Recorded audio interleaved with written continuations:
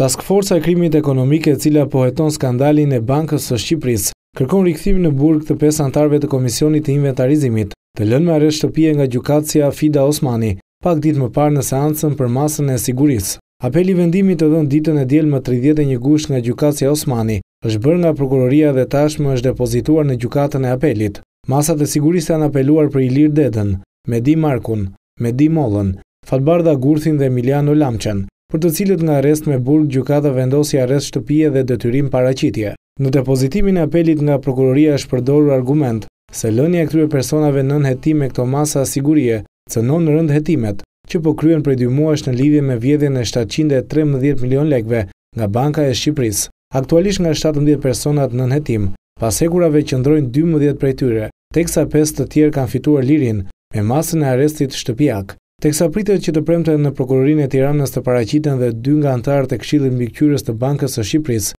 përkatësisht Ermelinda Meksi dhe Ela Golemi, të cilat do të pyeten nga prokurori i çështjes Ramadan Troci në lidhje me vjedhjen e Thesarit. Një burim pranë Prokurorisë sqaroi për A1 Report se anëtarët e Këshillit Mbikëqyrës do të pyeten në cilësinë e personit që ka dijeni teksa deklarimet e tyre do të bashkangjiten në dosjen hetimore, nga ku më pas do të vendoset për arrestimet të cilat prokuroria ka në plane të finalizojë, brenda dyjavëshit të parë të shtatorit.